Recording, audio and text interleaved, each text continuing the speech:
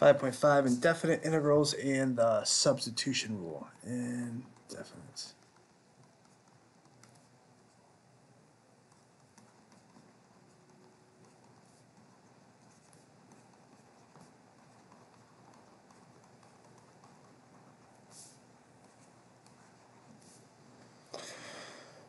So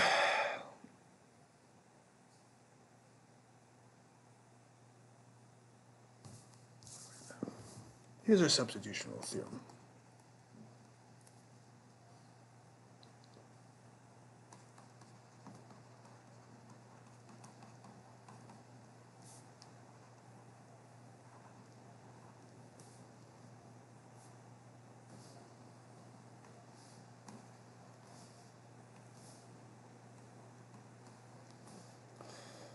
if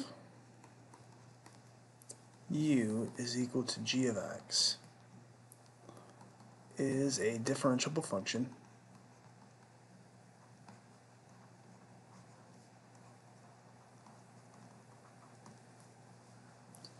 Whose range is an interval i and f is continuous.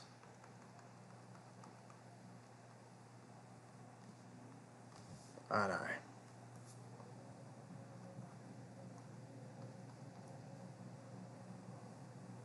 Then the integral of f of g of x times g prime of x dx is equal to the integral of f of u du. So uh, what we're doing is we're we're we're uh, the substitution rule is essentially the inverse of our of our um of our composition rule or our or our chain rule essentially. So what we're doing is we're undoing the chain rule. Remember that this represents the derivative of f of g of x. So the integral of the derivative of f of g of x is, let me kind of erase this because and we'll, we'll, kind of explain it in a second here. So this would be equal to, um, wow.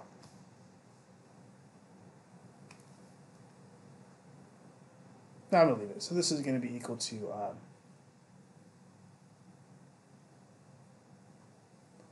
f of g of x. The g of x, oh, that's probably why they did that. Okay. Could have tried to make it look a little prettier, but it, it, it will make it far more complicated looking. So f of u du.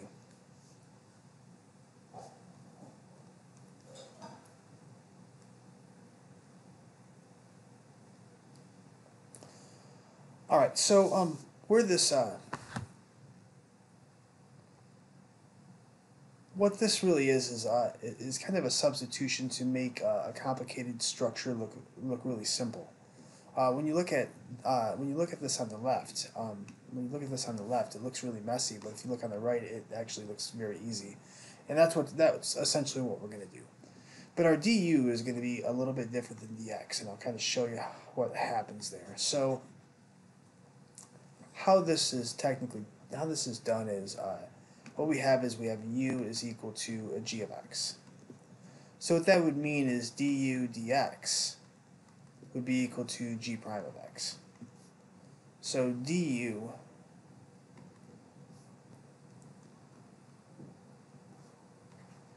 du would be equal to g prime of x dx. So substituting all these pieces into the original function will, will spit out that f of u du. So um, this piece right here, this this g of x is right here, which is equal to u. So that becomes the integral of f of, well, u. Now your g prime of x dx, which is right here, ends up being your du. And we're going to be doing, um, you know, this stuff right here, this middle ground stuff is essentially what we're going to be doing. Is we're going to pick a u, and then we're going to pick a du, and um, then we're going to be able to simplify it. Takes a little bit of practice. and uh, once you get the hang of it, it's it's uh, it's pretty straightforward. So example.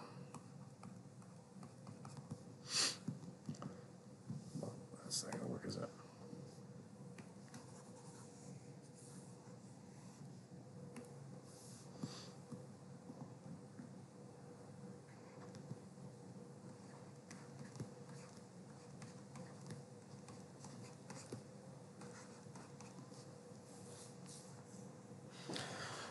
So when we take this, um, when we let me call this A, I should give some instructions.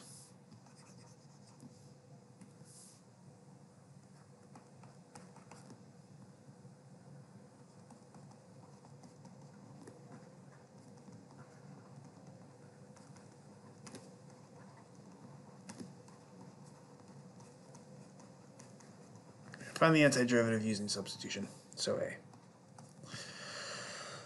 Well, what I actually have here, and I'm not sure if you guys can see it right now, but this really isn't, um, I have a function that is of that form. Remember I was looking for a function that looks like f of g of x multiplied by g prime of x dx, which is what I have here. If I rewrite this, this is the integral of, uh, sorry what this is, to the, let's say, third power. No, let's make it even a little more wild. So let's say the fifth power. So your your function inside of a function, your g of x, is going to be this piece right here. It's going to be your x squared plus 7. So that means your f of g of x is going to be the x squared plus 7 all the way to the fifth power. So if I rewrite that, this is x squared plus 7 to the fifth power, and then your g of x, notice that if g of x is equal to x squared plus 7, the derivative of x squared plus 7 is um, 2x dx. So this is 2x dx. So I have something exactly of that form f prime of g of x times uh, 2x dx. Now we don't have to rewrite this. I'm just trying to show you that, that, that that's, that's kind of what we're looking for. We're looking for a function with its derivative as, as well. So how we solve this is we figure out a u. Well, I know that u happens to be this, this x squared plus 7, so it's this x squared plus 7. Let me uh, erase some of this. So I know that u is this. This is your x squared plus 7. So u is equal to x squared plus 7. Now what I need is I need a um, I need a du. Now your du is going to be equal to the derivative of this thing uh, with a dx next to it. So it's a differential. So uh, finding the differentials is very similar to finding the derivatives. So what I can do is I can say uh, du dx, which is just the derivative of this thing, would be equal to 2x.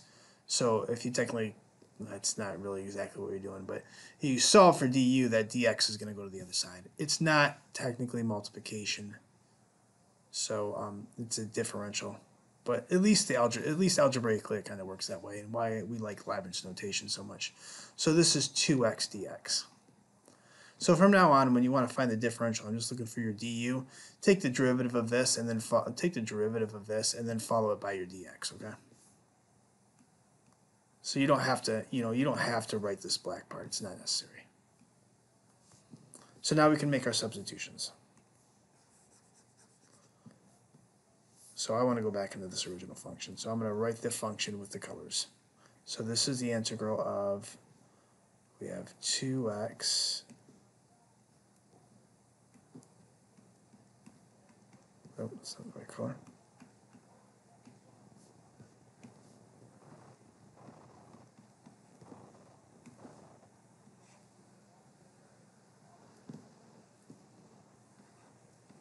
Okay. So that's the exact function, and if you look at the colors, I have everything matched up. Your your your du dx um, is is right here. This is your du dx right there.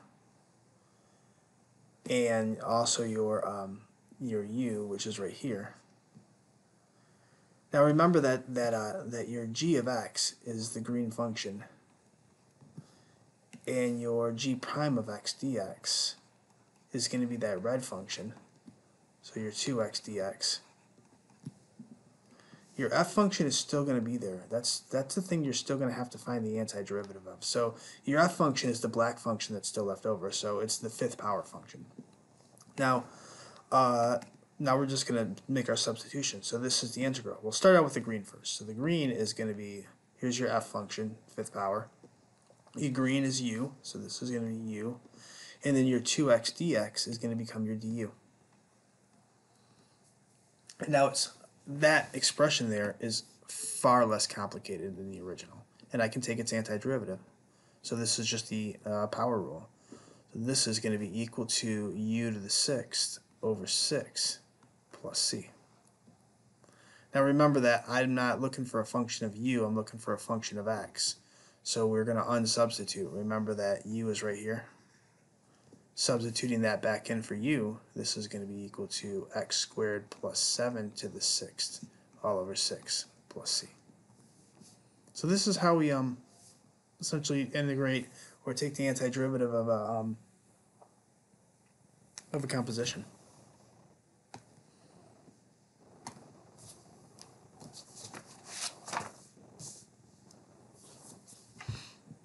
Do another one.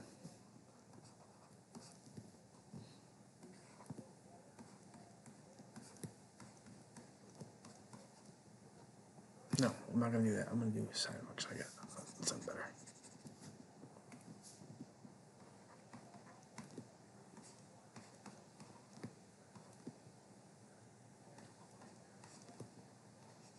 All right, so what you're looking for is you're looking for a function and also um, after you find that function you're going to take the derivative and you're going to see if that other function is in there. Now it doesn't have to be perfect. Remember that um, that constants are not that important. We can pull them in and take them out. So what I'm noticing is uh, is that your u function looks like this x cubed this x cubed minus 4 because it's a function inside of a function. So let's try that. u is equal to x cubed minus 4. So that means your du, your du would be equal to the derivative of that thing with a dx after it. So it would be 3x squared, and then don't forget your dx. Now notice that we have an x squared. What we don't have is a 3x squared. So what I'm going to do is, instead of having a 3x squared here, I'm going to put a 1 third in front of this. I'm going to divide both sides by 3 x squared dx. So know, just sending the 3 to the other side. Now I have exactly what I need and I can make our substitution. So what's nice about constants is, is, is we can, they're not a big deal. You just send them to the other side. So I'm making our substitution. So this is going to be equal to the integral. Remember the black function is still going to be there. I'm going to have the sign of that, right? That's still your f function. Now your g of x, which is your u, is going to be equal to, um, remember your x cubed plus 4, this is going to be substituted for u, so u is going to go there. And then your um, x squared dx is going to become 1 third du. So I'm going to put the 1 third right here, 1 third, and then your differentials are always going to come at the end. So that's what your x squared, you know, that thing got replaced with this. So what I mean by that is that thing is, is this, that that was replaced by 1 third du. Alright, so um, this I can take the integral of because I know that you can pull out constants and taking the integral of the uh, antiderivative of the sine of u is, is straightforward. It's uh, it's going to be minus the cosine of u. So this is going to be minus one third cosine of u plus c, where u, don't forget to unsubstitute. Remember this this u is still your g of x. It's still right here. Don't forget to unsubstitute that. So plugging that back in for your final answer, minus one third times the cosine of x cubed minus 4 plus c. And like I said, this is just going back in for where u was.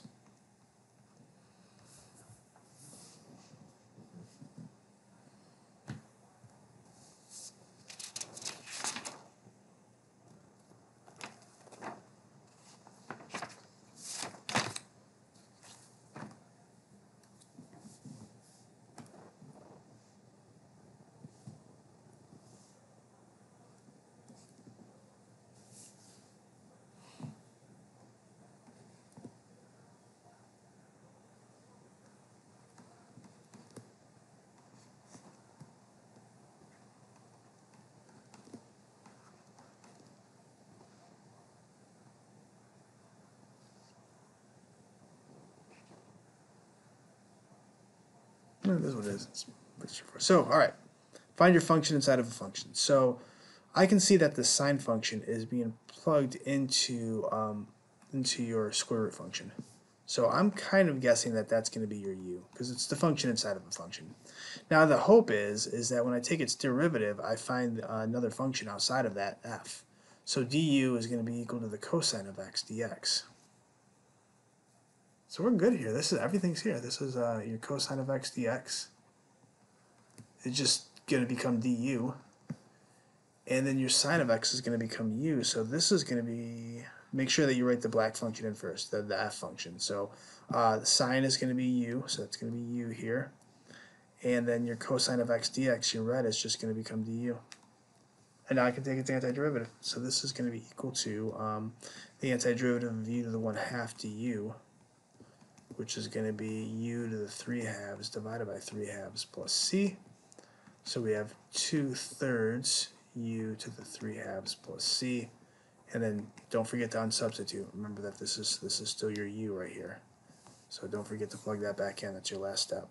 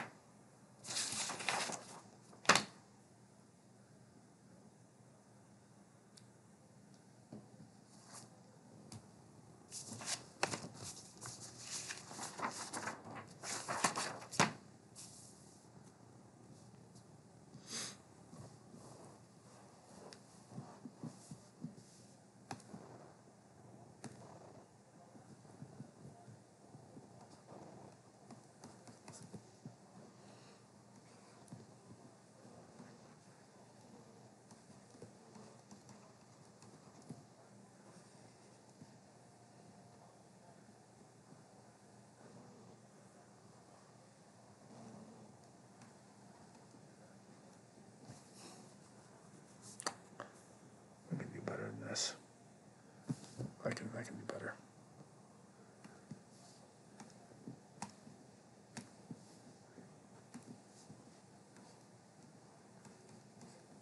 Mm-mm.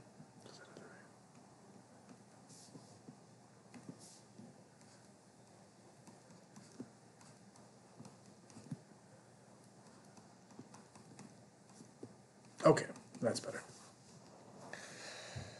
All right, pretty complicated, but again, what we're looking for is I'm looking for a function that's probably inside another function, or, uh, but most importantly, I'm looking for a function whose derivative is also in here. So I'm looking for a u, and then I'm also kind of looking to make sure du is in there. So what I know is that the derivative of the secant of x is the secant of x tangent of x. So it kind of is a giveaway that, that your that your secant of 5x that's going to be your u function. So u is going to be equal to the secant of, um, of 5x. Now your du is going to be the differential of that, so the derivative followed by dx. Well, the secant of 5x, its derivative is secant 5x tangent 5x, but you still have to multiply by what's inside, so you still have to multiply this by 5, and then we're going to have a dx. Now looking up here, I have a secant of um, 5x, a tangent of 5x, but I don't have a 5, so I'm going to get rid of that 5. I'm going to divide it to get rid of it. This is going to be equal to the secant of 5x and then the tangent of 5x and um, dx, and now I can make a direct substitution. So remember that the red, which includes the dx, can be substituted for 150 u, and the green is just u. So first we're going to write the function, so the black function is what's left over, what's still dark. So it's going to be the division side, and it's going to be the square root function. So that's your f function, it's 1 over the square root function. Now your green is your u, so your secant is u, so you'll plug in your secant of x, which is in the bottom, it's going to become u. And then the numerator, which is all that red, is going to be equal to um, 1 fifth, and then it's just du. So I guess the 1 fifth can go a little bit more centered if I want to make it look more balanced. So 1 fifth du, and that's it. A much, much, much easier function to deal with. So pulling out that one fifth and knowing that the square root's in the bottom, so this is u to the negative one half du. That means I can take its antiderivative would be equal to one fifth. Adding one is going to be u to the one half divided by one half. Let's do it that way. Plus c. So this is going to be equal to one fifth times two over one u to the one half plus c. So this is going to be 2 over 5 square root of u plus c. And now don't forget your last step though. Remember this is still u and I'm not I'm not asking for a function of u.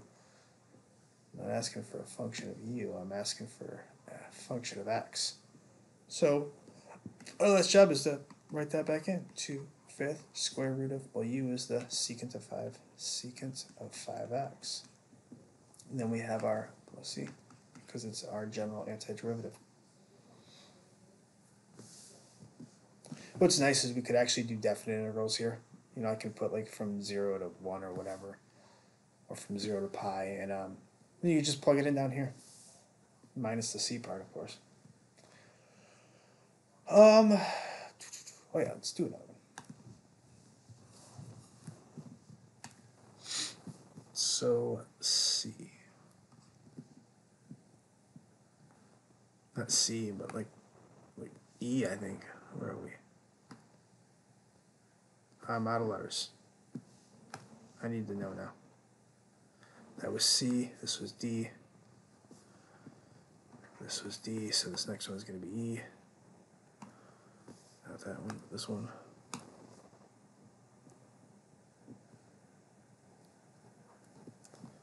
All right. Um, E is going to be the integral of 5, no, I'm going to do better than this. Actually, I'll do this one first and then I'll do another one next. So 5 natural log of x all over x dx. Or, oh, better, better than that. Let's put the 5 on the bottom. Okay, so I want to find the antiderivative of this. Now remember what I what I'm looking for is I want um, I'm looking for functions whose derivative is still in there. Well, the first thing I know is I got a constant in there. That thing's annoying. Let's pull that out. So 1 fifth times the integral of the natural log of x over x dx. Now I'm looking for a function whose derivative is also there. Now, uh, when you see a natural log function, in this book, it's almost always when you see a natural log function, that is your u. It is almost always. So what I'm going to say is u is going to be equal to the natural log of x. And it's kind of also obvious because when you take the derivative of this, when you find your du, what it does is it introduces an x to the denominator because the derivative of the natural log of x is 1 over x dx. So that that is why that's the case. So um, now I see my, my 1 over x dx. To be honest, it's 1 over x dx. It's the entire thing. It's this dx. So when I make my substitutions, this is going to be equal to 1 fifth times the integral. Now, I don't see any black left. So when you do your natural log function, this is just going to be u. All that's left is just u. The reason why there's no black part of the function left is because this division here, well, I guess you can see it now, but that division, oh, what's that? That division right there is this division right here. and so it's going to be u, and then your um, your 1 over x dx is going to become du, so your 1 over x dx is just going to become du. So this is going to be equal to 1 fifth u squared over 2 plus c, not forgetting to substitute for your u, which is the natural log of x squared, and then 5 times 2 is 10 plus c. I'm going to do a very similar one over here, so f the integral of the natural log of x cubed all over x dx. Now this is it's it's an it's almost identical. It just has an extra step in it. What I know with powers and logarithms is you can pull them out. You know the you know these powers from logarithms the exponents are the same as coefficients.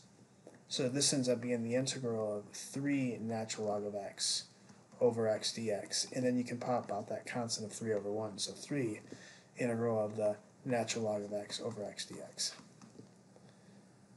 And now we already know that value. Like, um, so u is going to be equal to the natural log of x. du is going to be equal to 1 over x dx. So this is going to become 3 times the integral of u du. So this is equal to 3u squared over 2 plus c. So this is going to be equal to um, 3 halves and then natural log of x squared plus c.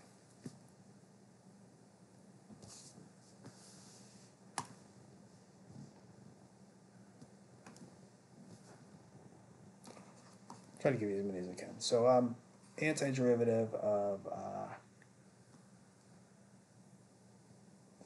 I'm more that.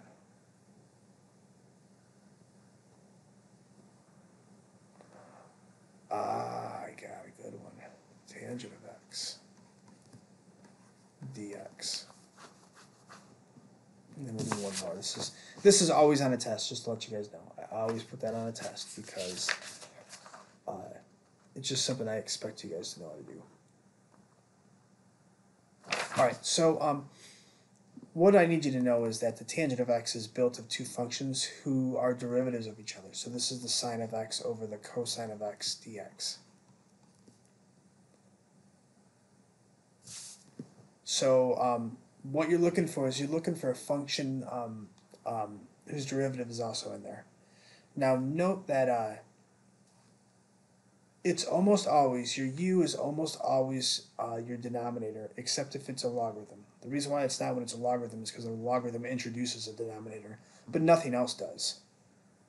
So the problem is if you say, well, what if u is the numerator? Well, when you take your du, you get a cosine of x dx. And the problem is I'm not looking for a cosine of x of dx, I'm looking for that.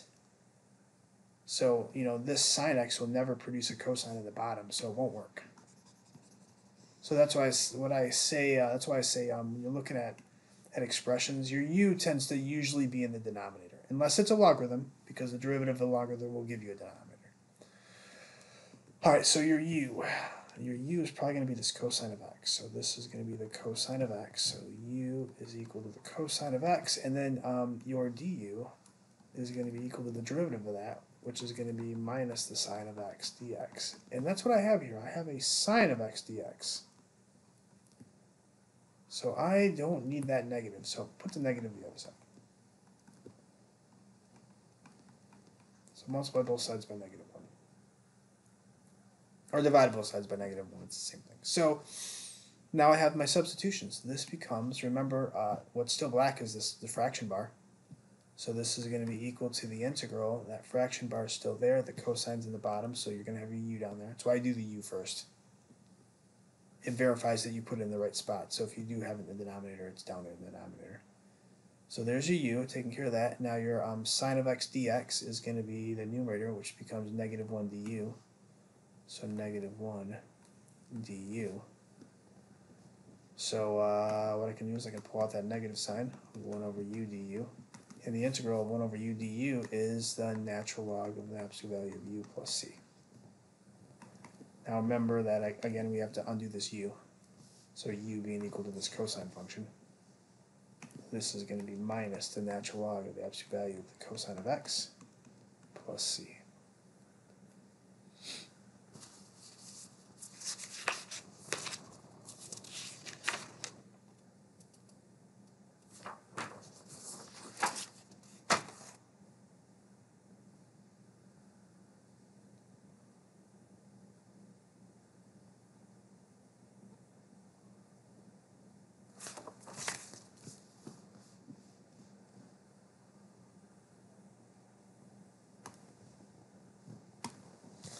All right.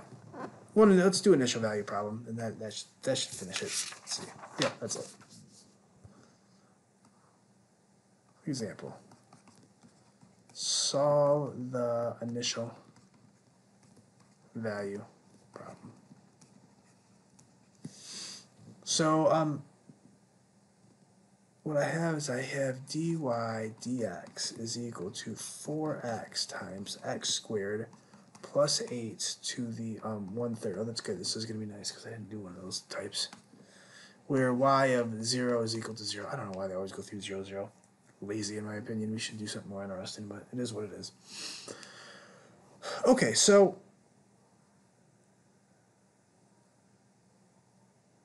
what I need to do is I'm trying to find a function that's that that that is that makes this true. So I'm trying to find a function whose derivative is equal to this thing right here. So in order to do that, in order to find a function whose derivative is equal to this thing, I have to take the antiderivative of the derivative.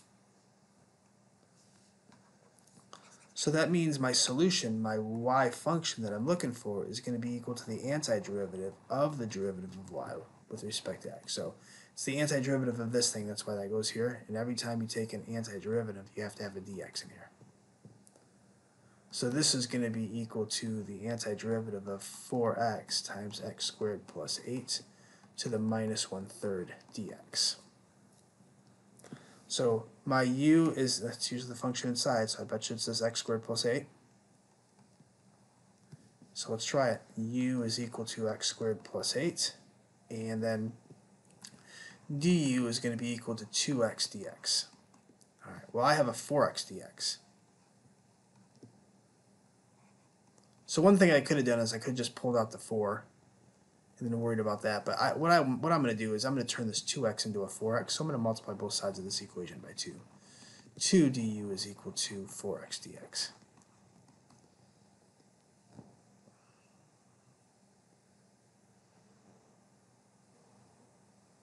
All right, so um, now I can make our substitutions. Remember that, that your black function is still this negative one-third power. So this is going to be equal to the antiderivative of your 4x dx becomes 2 du. Well, actually, we're going to do our, I bet we're going to do our black, the black part of the function first. So this is going to become u to the one-third. And then your 4x dx is going to become 2 du. So this is equal to 2 times the antiderivative of u to the negative 1 third du, and now it's power rule. 2 adding 1 to it is going to be plus 3 over 3 is going to be um, 2 over 3 to the 2 over 3 divided by 2 over 3 plus c. So this is equal to 2 times 3 halves u to the 2 thirds plus c which is equal to um, 3u to the 2 thirds plus c. I should have substituted. So this is 3. Substituting your u is going to be equal to x squared plus 8 to the 2 thirds plus c. Now I'm almost done. When you solve the initial value problem, this value right here gives you your c. So this is your y. So what I'm going to do is I'm going to plug in 0 comma 0. So y is equal to 0, that's what this says, is equal to, and I'm going to plug in x equals 0, so that's x. So I'm going to plug in 0 over here, so this is going to be 3 times 0 squared plus 8 to the 2 thirds.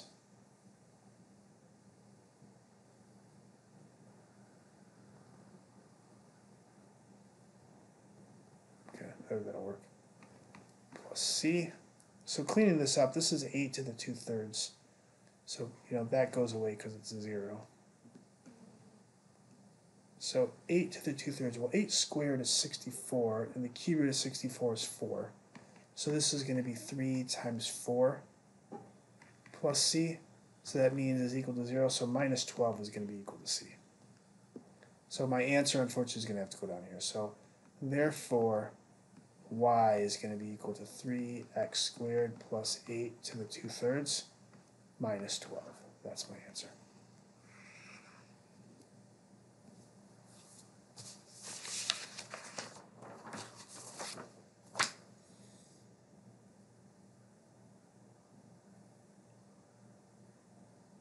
I wanted one more really good one. Let's see if I can find it.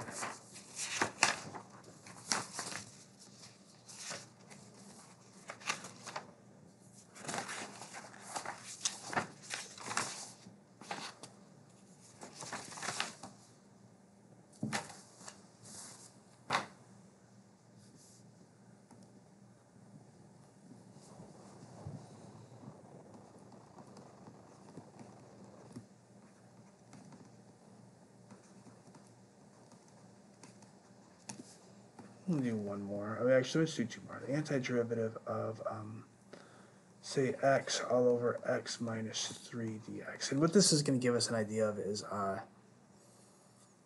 is we've been uh, manipulating the, the, the red side, the du, but you don't have to. You can actually manipulate both sides. So, like I told you, that u tends to be in the bottom, unless you see a natural log. So this is going to be your u. u is equal to x minus 3. Now your du is going to be the differential of that. So du, or the derivative of this, is just 1. So du is equal to dx. Now, um, notice that I, I'm not able to substitute for this this x up here because I need I need this function to turn all into um, u. So so far what I have is I have x all over u dx. I mean well, all over u du. But the problem is um, this entire function has to be a function of x and not a function of u. So what's nice is if you look at the green, I can actually solve that for x. I know that x would be equal to u plus 3. So that allows me to write this as u plus 3 over u du. So what's nice about that is we've been manipulating this side all the time. You know, multiplying or dividing by a constant. Um, we can do the same thing to the other side as well. So now that this is a monomial denominator, you can do the integral of u over u plus 3 over u du. So this is equal to the antiderivative of 1 plus 3 over u du. So this is going to be u plus 3 natural log of the absolute value of u plus c, where u is equal to x minus 3. So x minus 3, I guess I'll need parentheses there.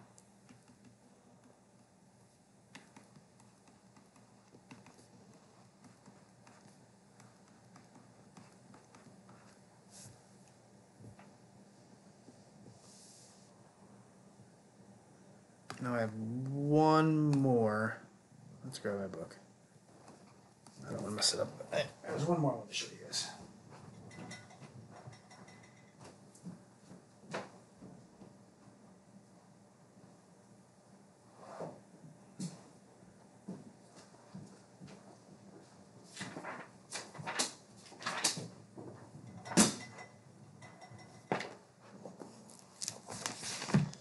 Show you because it's a clever one that's tends to get people. Where are you?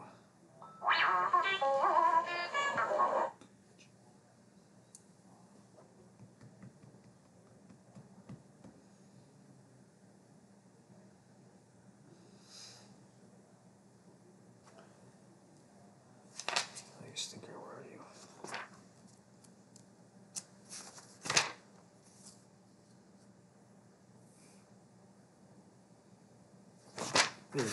You. Perfect. So, um, the other, the last one I'm going to show you is this. This is the integral of, uh, let's do 3x to the fifth times the square root of x cubed plus 1 dx. Now, what's this is going to take a similar formula to what we did there. Our u tends to be the function inside the function, so our u is going to be this x cubed plus 1. But the problem is when you set up as x cubed plus 1, your du is not what you're hoping. Your du is 3x squared dx. But I don't have a 3x squared. I got a 3, which is good. I guess I'm alright with that. And I have a dx, but uh, it's, this, this x to the fifth is not working. So let's let's rewrite this. What I know is that um, is that this is the same thing as the integral of, well, x to the fifth is actually built of these two powers of x squared and x cubed. So let's let's write that. Let's write this as 3x squared times x cubed times the square root of x cubed plus 3 plus 1 dx. So I can make my substitution a little bit better now. So let's let's finish this. So this is going to be 3 We'll worry about this x cubed in a second here. I know that um that your 3x squared dx is right there. I know that your x cubed plus 1 is right here. So the red becomes um, your 3x squared dx is just du. So that's kind of nice. That's going to be, it's going to just be du. I don't even need that. 3. That's cool. So that's just, so, um, and then the black part. So I'm going to have the square root of, this is going to be u, and then the red is just going to become du. But the problem is, what about this x cubed here? Well, I can't write x cubed. You, you can't just have x cubed here because uh, this, this has to be a function all of u's. So x can't be there. So what I'm going to do is I'm going to go back up to the green function over here and I'm going to solve this for x cubed. So x cubed is equal to u minus 1. So that means I can substitute in u minus 1 there. I should use that for a color, but so I guess the u minus 1, since it's technically part of that expression, would be equal to x cubed, so I have u minus 1. Now we can clean it up. So we have the integral of u minus 1 times u to the um, 1 half. And what's nice about this is, you know, I couldn't simplify. You can't multiply this inside because um, it doesn't have the right power on it. And plus, and, and another thing that you can't do is you can't square root a sum. You can square root a product, but not a sum. So there's no way to square root that x cubed plus 1. So the fact that, that it's a binomial underneath the radical is, is, is not useful. But now that this is a monomial, and this is, all these things are basically, uh, um, I can just distribute this. I can multiply this here, I can multiply this here, and, it's, and now it's integrable. So this is, um, when I multiply, I add the powers, so 1 plus a half is 3 halves and then minus u to the 1 half du. So this is going to be equal to um, u to the 5 halves divided by 5 halves minus u to the 3 halves divided by 3 halves plus c. So 2 fifths u to the 5 halves minus 2 thirds u to the 3 halves plus c, where your u is at x cubed plus 1.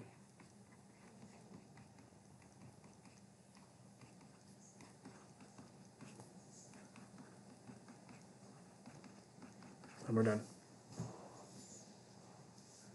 All right, that's the end of it. So